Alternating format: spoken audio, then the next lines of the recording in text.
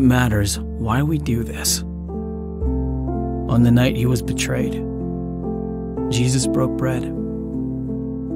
He gave it to his disciples. Take and eat. This is my body. He took a cup.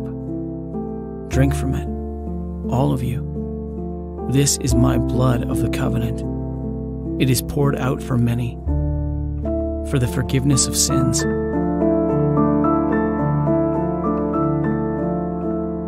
It matters how we do this. Let each of us look at our lives. Let us recognize our sin. Let us see the grace of God in the body and blood of Christ, broken for us, poured out for our forgiveness.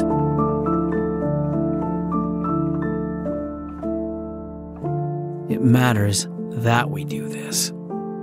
Let us eat the bread drink from the cup. Remember the Lord's death in our place on the cross, looking for his return. Amen.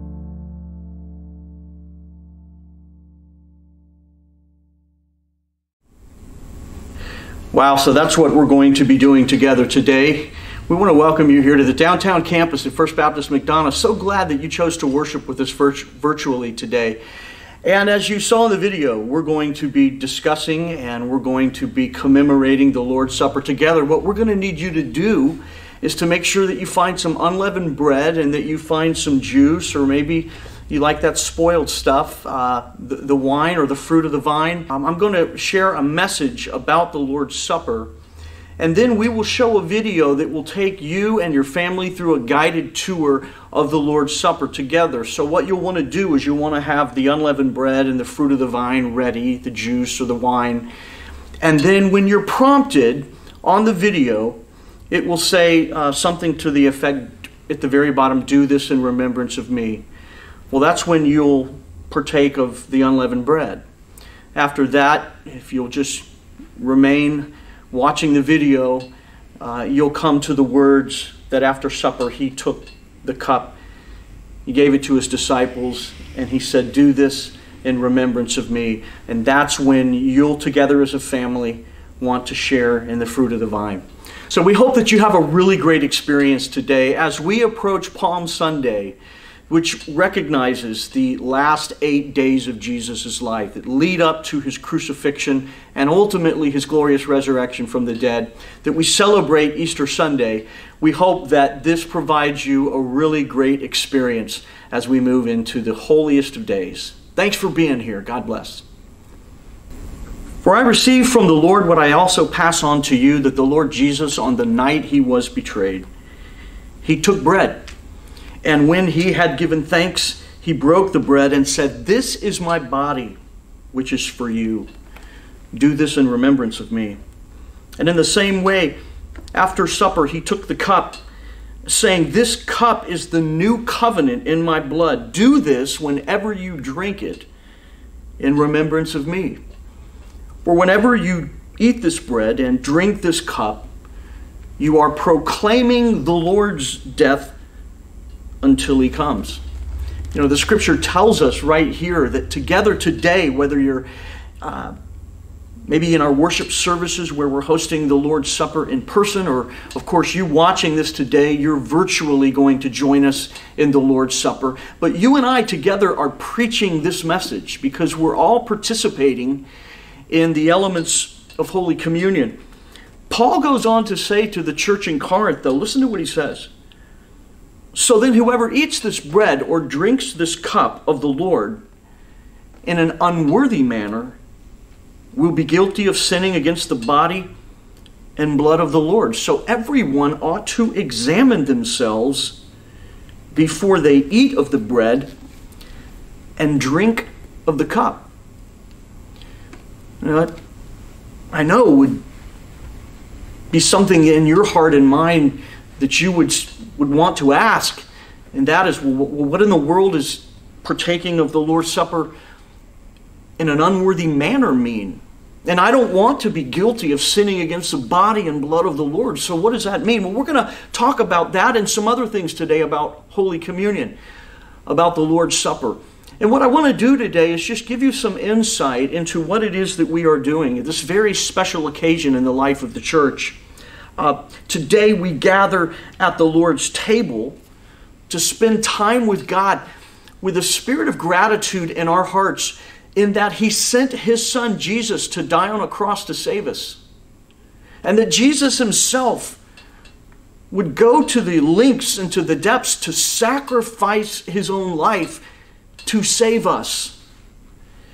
Certainly, that is worthy of a celebration or, or a commemoration. Certainly, certainly, it is worthy that from time to time we set everything else aside to gather at the Lord's table to thank Him for this amazing sacrifice. In fact, in Romans 5 8, Paul tells the Roman Christians, the Christians that were living in the capital city of Rome at the time, he said that God has demonstrated his love toward us in that while we were sinners, Christ died for us.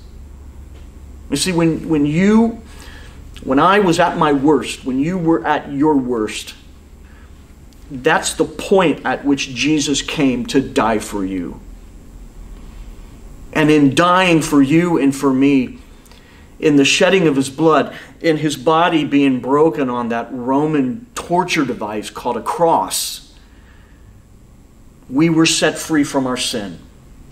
That all who would put their life, their faith, their trust in Jesus would never die, but have the hope of everlasting life. So today, that is why we gather together for such an occasion. Uh, I thought we would spend some time looking at this concept of the Lord's Supper and what Paul meant by partaking of the Lord's Supper in an unworthy manner. I think that would be time well spent.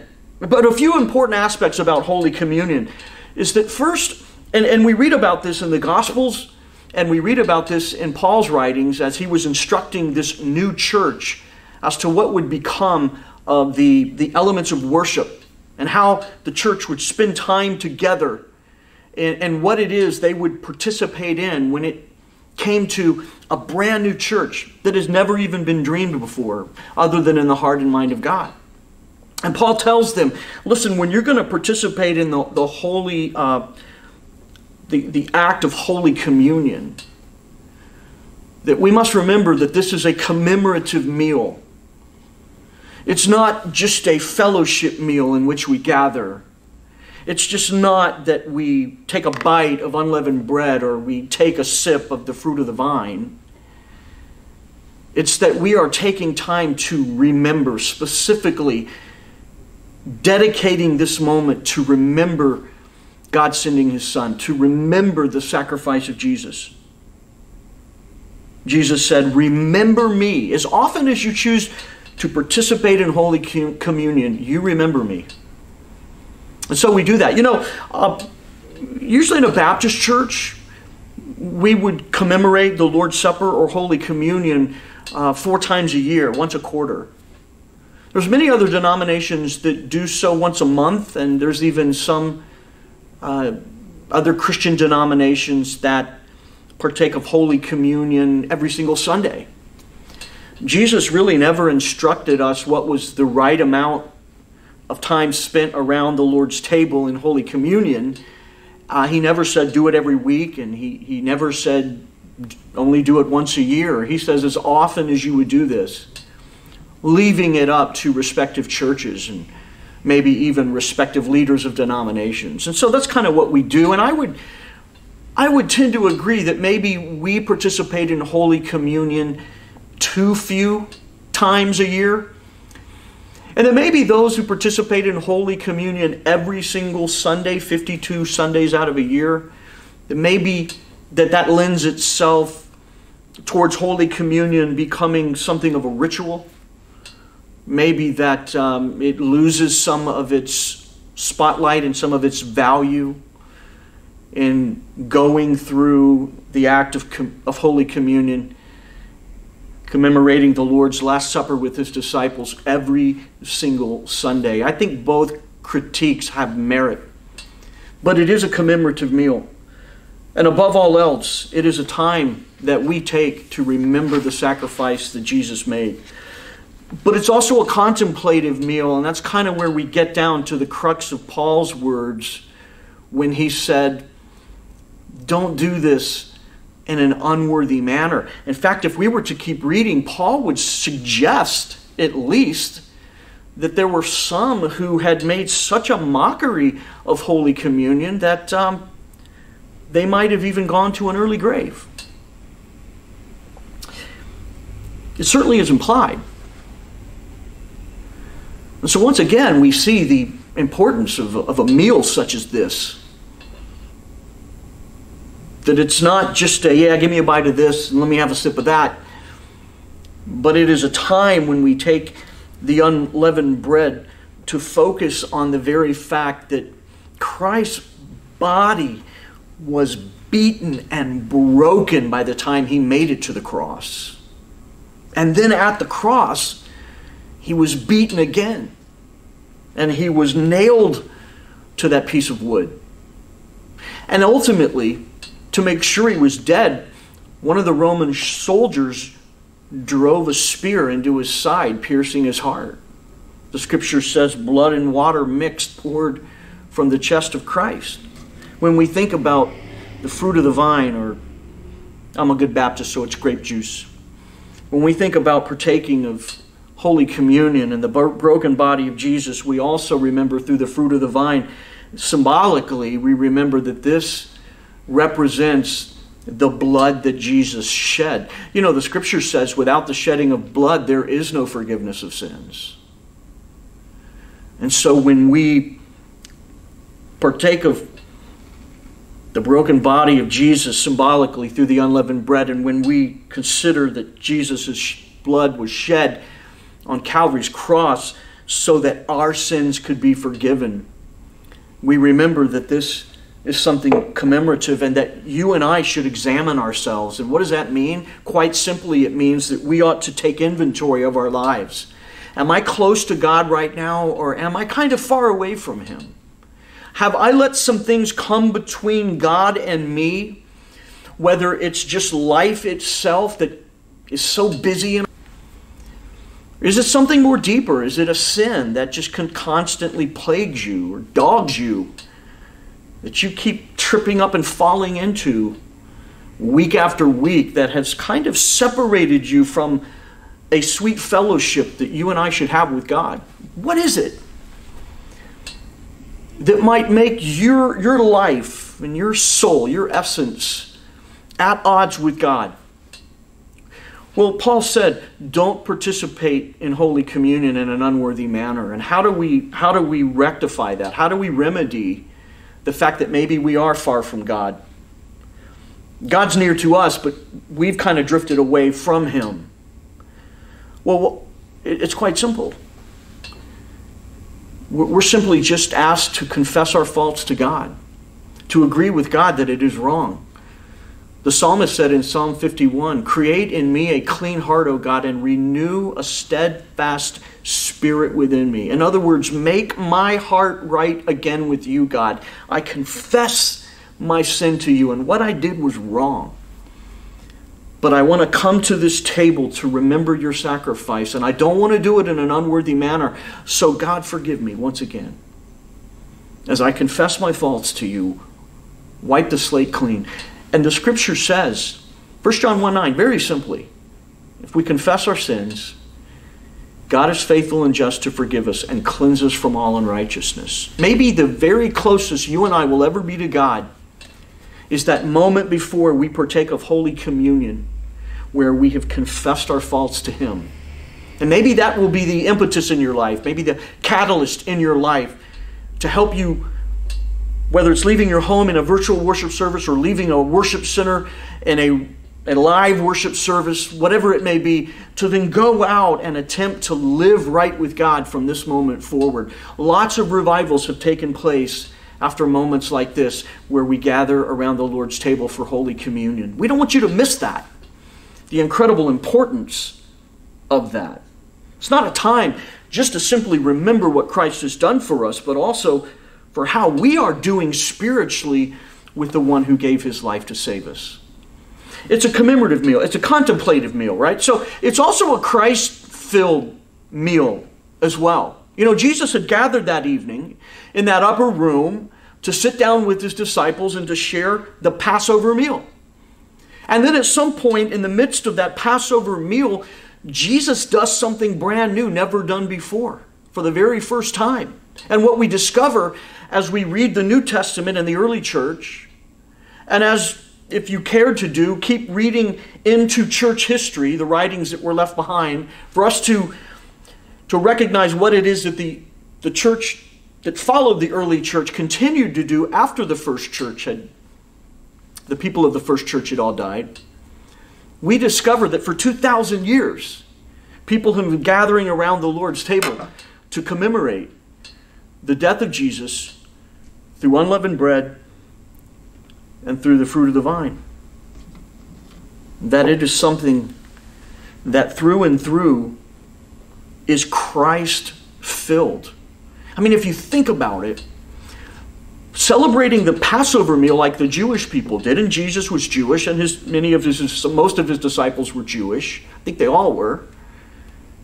And the, the, the 12 disciples anyway. And and so Jesus is having the Passover meal together. And it's, it's a pretty amazing story way back from the Old Testament. There's, there's a saying in, in uh, seminary and, and, in Bible study classes that uh, in the old concealed, in the new revealed. And so the Passover meal was only ever a symbolic representation of the fact that, yes, a, a lamb was sacrificed and the blood of the lamb was posted on the door frames and the door posts of that home which if you cross reference if you if you connect the, the dots it's eerily similar to a cross. When jesus was dying on the cross i believe it was john who said there is the lamb of god who takes away the sins of the world. John the baptist said the very same thing when jesus approached the Jordan and was about to be baptized by him. The Lamb of God who takes away the sin of the world. And so, in the Old Testament, the Jewish people, trying to be released from captivity from the Egyptians, they killed a spotless lamb.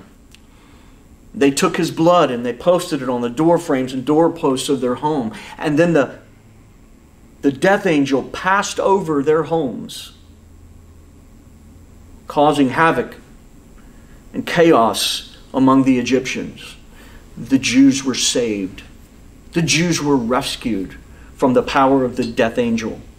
And so Jesus is here saying, hey, by the way, I'm giving you something brand new.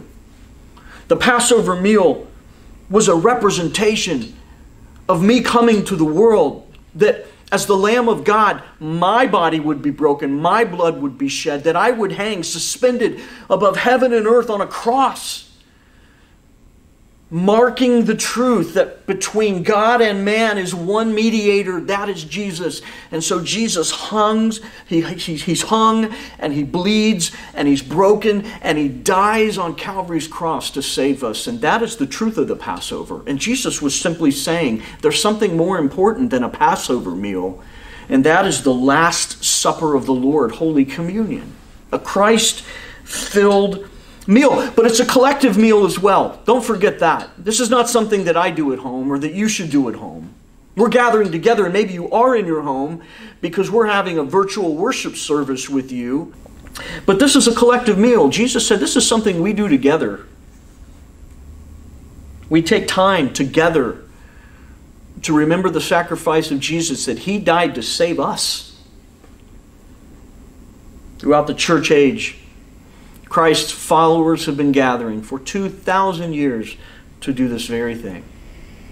Just as we've been gathering on Sunday to celebrate on the day Jesus rose from the dead, to celebrate the resurrection of our Lord and Savior, and on Easter, the grandest of all the Christian celebrations. To remember this momentous event in the life of Jesus. It's something we, together, we do together, not alone. Finally, what I want to say, though, and we'll wrap this up, is that it is a continual meal. Like I said, it is a meal that we share together. if the Lord tarries for another 2,000 years, the church, wherever the church is found, will be gathering to commemorate the Lord's death. Remember what Paul told the uh, the Corinthian believers? Whenever you eat this bread, whenever you drink this cup, you are preaching the Lord Jesus until he comes again. And it's a reminder that we will share in this meal until Jesus comes again. And by faith, we believe that he will. Have no doubt about it. And so, we gather. I hope that you will locate some unleavened bread in your home, whatever version of the fruit of the vine that you would want to join in. In the next video, we're going to show you now is a presentation that will cue you when you are to take a bite of the unleavened bread or to take that sip of the juice. You'll be given a moment, by the way, to pause and just confess your faults to God, whatever they may be. It's between you and God. To prepare your heart so that you will heed Paul's admonishment that we are not to do this in an unworthy manner, but this is serious. This is a this is an exciting time for the church. Surely, but it's it's it's a serious time as well. When you hear the words, do this in remembrance of me, or rather see the words on the screen, uh, that's when you will take a bite of the unleavened bread. And the next series, what you'll see is another slide speaking of, about the cup. At the very bottom of the screen, I believe it says, This is the new covenant in my blood. Whenever you do this, do this in remembrance of me. I wanted to give you some insight into what's going to happen next because you together alone or as a family, are going to share in the Lord's Supper together. We hope that you've enjoyed this experience. We hope that what's about to happen is meaningful to you in many, many different ways. A recognition, a remembrance, a revival of sorts, preparing your heart for this special time. Thanks for being here today. We hope you'll be back next week. It's going to be exciting as we celebrate together. God bless.